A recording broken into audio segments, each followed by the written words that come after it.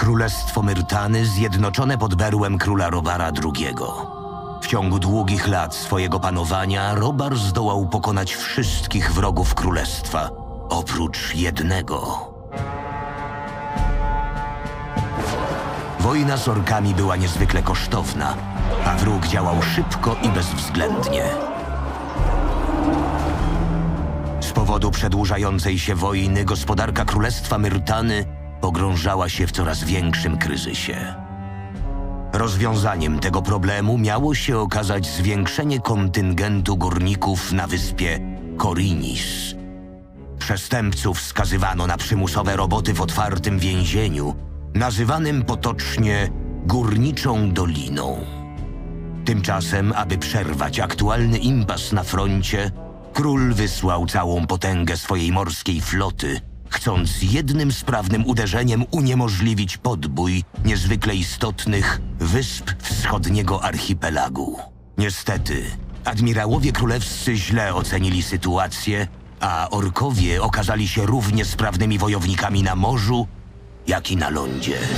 Flota Myrtany w ciągu kilku godzin wylądowała na dnie oceanu, a cenę tej porażki miała ponieść stolica regionu, pobliska wyspa Archolos.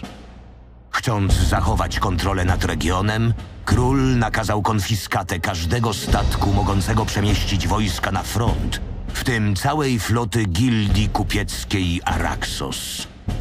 A każdy zdolny do walki obywatel, niezależnie od stanu majątkowego, miał wkrótce zostać wcielony do armii.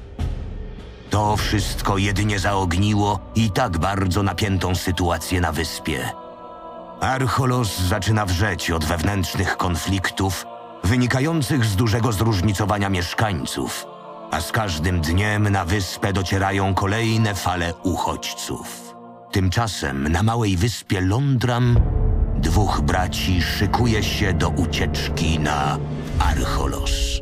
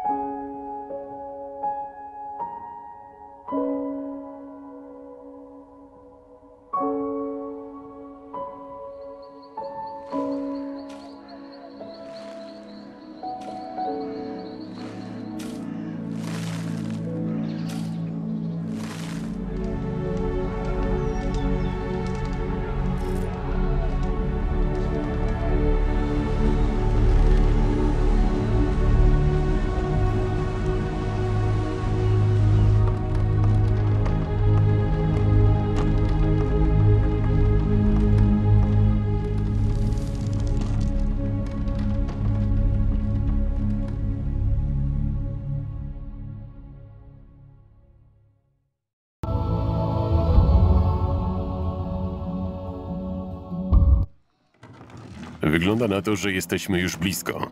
Skąd wiesz? Słyszałem, jak kapitan wydawał rozkazy swoim ludziom. Niedługo zrzucą kotwicę. Czyli niebawem przekonamy się, jak dobrym pomysłem było przybycie na to całe Archolos. Pogadaj z resztą, zajmij czymś głowę, a ja w tym czasie stanę na czatach. Może uda mi się jeszcze czegoś dowiedzieć.